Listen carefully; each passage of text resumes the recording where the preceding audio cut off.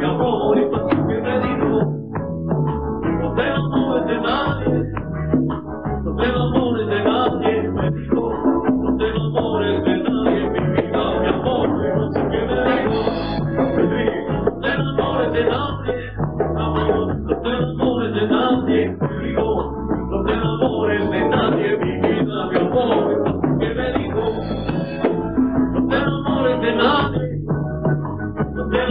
de nadie, me dijo, no te enamores de nadie, mi vida, mi amor.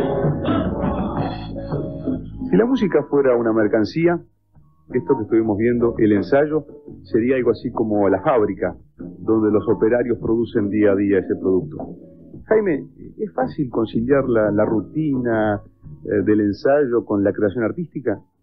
Depende del grupo, es decir, eh, del grupo humano, ¿no? Eh, del material que se esté tocando, de las cosas que se estén ensayando, eh, de una- serie de circunstancias, si se ensaya con tiempo, si se tiene una fecha muy próxima como para tener pronto algo. ¿Qué pasa con ese, ese trecho que va de, de- de la creación hasta la puesta, digamos, el servicio al público del producto final? Eh, todo este periodo del ensayo va como desgastando un poco la, la creación artística o por el contrario la va enriqueciendo? No, eh, enriquece la, la parte artística y desgasta la parte, digamos, psicológica de la persona que en cierta forma puede dirigir la cosa, ¿no? O sea, desde el momento en que se empieza a componer una canción, que se empiezan a llenar los, los blogs de, de palabras y los cassettes de, de melodías, pasando por los periodos de ensayo, de grabación, hasta el momento en que el disco llega a manos del público, a veces pueden pasar un año y medio o dos años. Y el músico en todo este proceso llega a, a odiar el ensayo, tener que ir a trasnochar, el instrumento, lidiar con los aparatos de audio, todo esto que es un poco la cocina, lo, lo que no brilla de la, de la, de la creación artística. Sí. Especialmente en las etapas finales. Muchas veces el tiempo apremia aparte, ¿no? Hay, hay plazos y, y se da el caso, bueno, a- eh, no solo a mí me pasa, a la cantidad de gente que una vez terminado un disco, durante un mes uno no puede escucharlo. Al mes o a los dos meses, a veces a los tres meses, recién uno puede escuchar lo que hizo y darse cuenta realmente eh, de lo que hizo, si uno está conforme o no. Bueno, es decir, esto es un poco, un poco eh, exagerado lo que digo, ¿no? ¿Se afecta la convivencia el hecho de tener que encontrarse eh, noche tras noche o noche por medio para, eh, bueno, para ensayar para todo este proceso de elaboración de, la canción? Sí, eh, es una cosa muy delicada, hay que, hay que irla llevando. Yo, en, en cierta forma, te pongo el ejemplo del grupo Repique con el que estoy trabajando actualmente. Es un grupo de gente, bueno, no, no sé, ¿no? No me cabe a mí de- de decirlo, ¿no? Pero es un grupo de gente inteligente, tolerante, que conoce eh, sus propios defectos y los defectos de los demás en cierta forma hay una especie de, autocrítica permanente, eh, sutil, que, regula el grupo. Y que bueno, que ya más o menos cada uno le conoce las, mañas a los demás, pero siempre eh, en una actitud positiva. De esta forma, hace casi cuatro años que estamos juntos y, seguimos adelante y seguimos produciendo cosas y tenemos una cantidad de proyectos futuros. Y curiosamente, en estos últimos meses la relación está cada vez más fuerte y está cada vez mejor.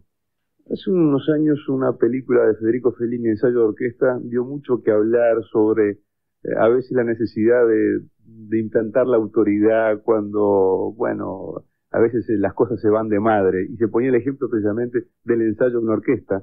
En determinado momento el director tenía que imponer su autoridad.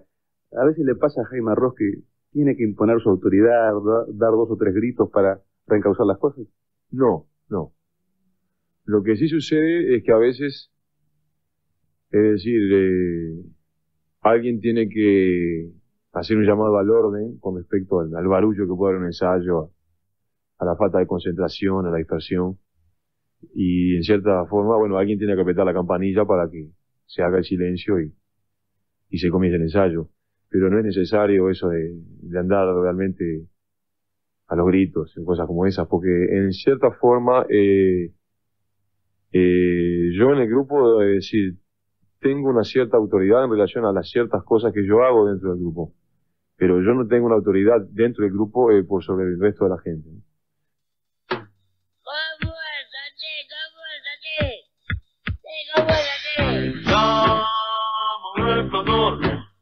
Ya están en la esquina templando el tambor.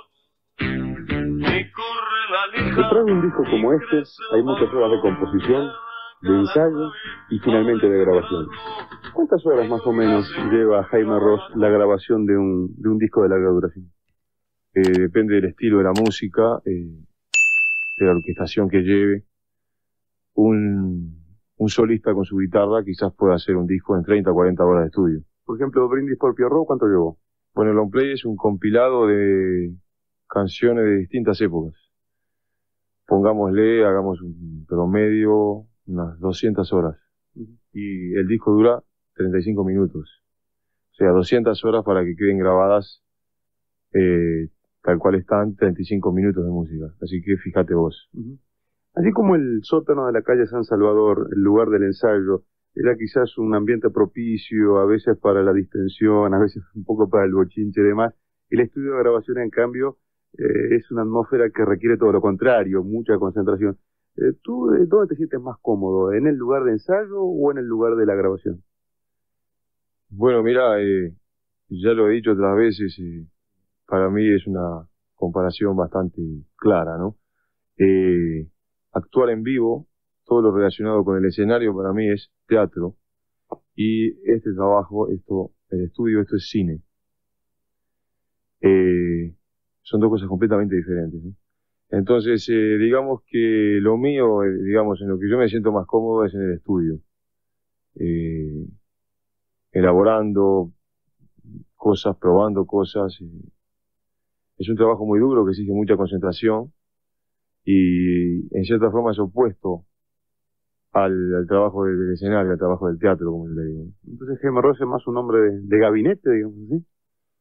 Sí, para empezar, eh, eh, el hecho de componer las canciones, que me lleva mucho tiempo y tengo que estar solo para ello, y luego en el estudio trabajando, bueno, a veces se trabaja con, con muchos músicos también en el estudio, ¿no?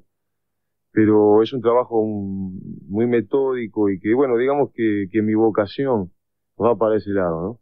De todas formas, me gusta mucho también tocar en, en un escenario, eh, es otra cosa completamente diferente.